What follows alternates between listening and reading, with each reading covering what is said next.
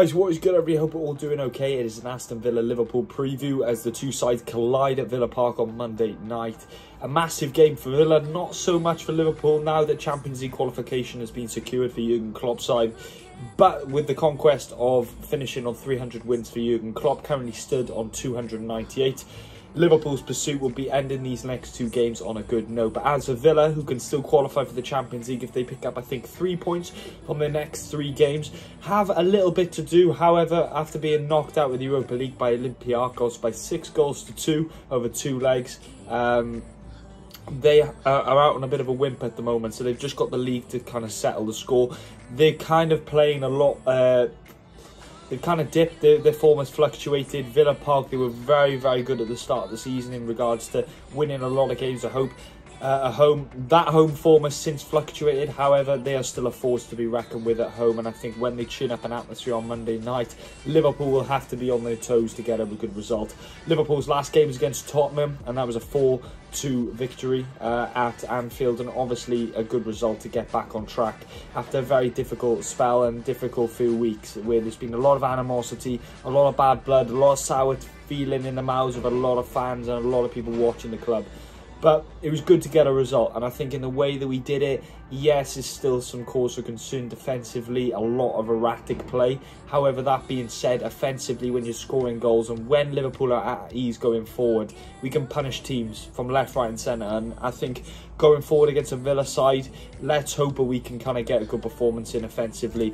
Defensively, obviously I'm not expecting a an outstanding performance defensively just purely based on the logic that um, we haven't really been played, def played defensively astute all season. We've conceded a lot of goals, um, and we've usually conceded first.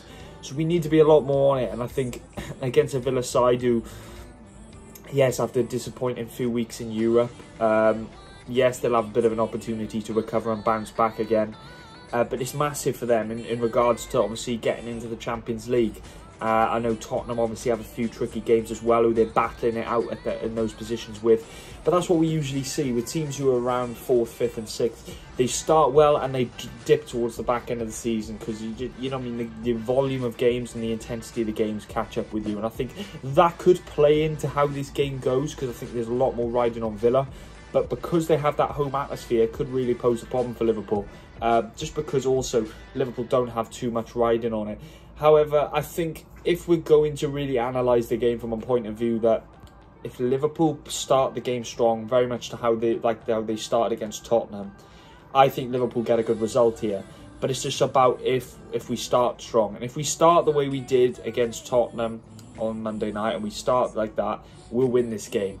But it's if we start on the back foot and we let Villa build up the atmosphere because that's what we've done and we've struggled to do this season is that we've struggled to really take the tension out of the game. And when there's a lot riding on it for one team, and when implications are quite clear for one side or, or both, we kind of feed into that chaos and it just provokes a more erratic reaction. So we need to take the sting out of the game.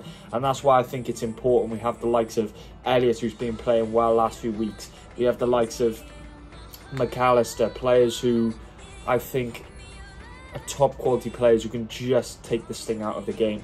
Look, Aston Villa have a few injuries. You've got Kamara out injured. I think Buendia is out injured, and Tielemans. All I think ACL injuries. I think or, or knee injuries. Correct me if I'm wrong, but they've got a few injury problems. So they're a bit of a wounded animal, especially after coming out of Europe. So Liverpool have to be on their toes, and we have to be able to be in a position where, in order to capitalise, we have to be in a position of strength. And I think going into these last two games, there's a lot of emotional tension building around you know the club with obviously that Wolves game in sight.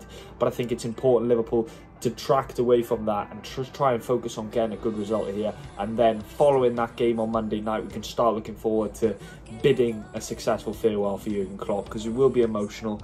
It will be all of that sort of stuff. We've got to hope Jurgen Klopp doesn't feed into the emotional chaos that is anticipated on Monday night because a yellow card for him would mean he'd be suspended for that game on uh, on a week Sunday. So uh, we need to be on all our best behaviour, and I think we need to just have a disciplined, emphatic performance. I think last time Liverpool were in a bit, uh, uh, faced Aston Villa towards the back end of the season, we it was the season where we went on to win the FA Cup and the League Cup, and we faced them with a few games to go in the league, and we got a good result. I, I can't remember who scored it on the day, but I think it was maybe Taki Minamino. I'm not too sure, but either way, guys, we need a good result here, and I think Villa Park is a tricky place to go, especially on a Monday night.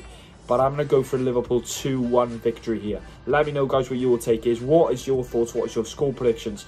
And let me know how you feel the game will pan out. Do you think Liverpool will turn up? And if we do so, do, we think, do you think we blow Villa out of the water?